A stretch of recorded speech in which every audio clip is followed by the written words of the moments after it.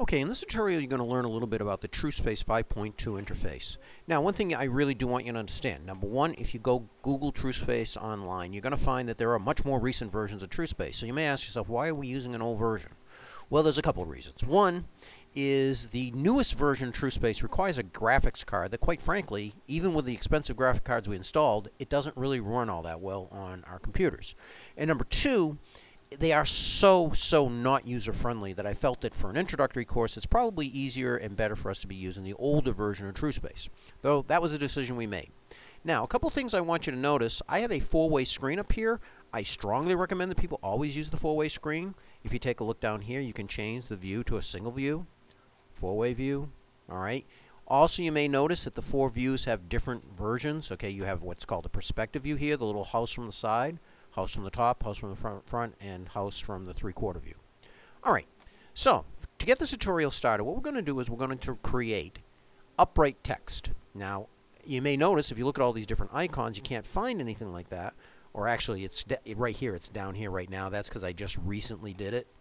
But if you want to find some, a tool and you can't, click on the trash tool barrel, and all the things shows up. Now, you'll notice on the third row, all the way in the corner, there's ABC. That is the icon for up upright text. So I'm going to click on that, but I really would like to um, pick my own text. I don't want to use a default.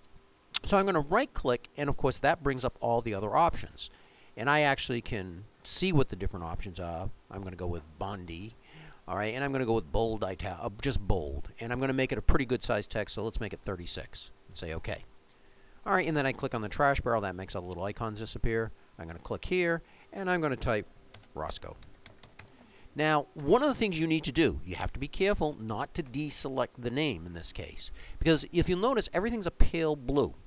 All right? And what happens, let me just show you what happens if I click off of it. Boom, I'm going to click. Oh, now it's no longer selected and I can't do anything with it. So what you want to do is you want to keep it selected. And then you're going to drag over here where the sweep tool is. And you'll notice that the words of what the object is, it says bevel, macro sweep, lathe, tip, sweep tool, boom, and it makes it a three-dimensional object. Also, it, this little guy may show up, this little extra toolbar. It may show up or it may not show up. It may show up as just a little dot. When you mouse over the little dot, the toolbar shows up. It also allows you to do things with that face. Like, for instance, you could expand that face tremendously or shrink it. Or you could open up the toolbar again and rotate it. I'm not sure why they felt it was such a good idea to put this in, because quite frankly, it doesn't really help you all that much. I would suggest very strongly that once you've played with that little toolbar, you just hit undo, because you want the words to be 3D, but you don't want to do anything too funky with them. All right, so there we go. So I got my name in 3D. The white arrow allows me to just select the object, and it deactivates the edges. Now, there is another tool that you may want to look at, okay, and I'm going to just hide it here you may notice that there are the move tools. And in some cases, you see this little, this is one little feature of TrueSpace that I really don't like, is that it hides the tools unless you mouse over them. Now, when you mouse over, you get the three dots. If you click on it again, you get the five little dots. That will lock the toolbar in place. Really useful thing. Okay, you may notice that there are three sets of tools and then another three set of tools. If you mouse over, it says eye move, eye rotate, and zoom. Okay? And then the other tools say object move, object rotate, and object zoom. And I'm going to leave you to figure out what those things mean. Okay? I want you to play with them until you actually figure out what those things do. So what have we done so far? Well, we've created some text, we've made it three-dimensional, and we've moved it around.